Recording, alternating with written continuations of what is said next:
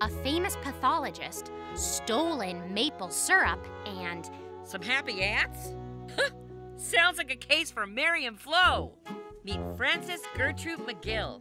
She was a forensic pathologist, criminologist, and allergologist, and the first female RCMP officer. known for standing her ground and being excellent at collecting clues from a crime scene. Watch Mary and Flo on the go On Shaftesbury Kids.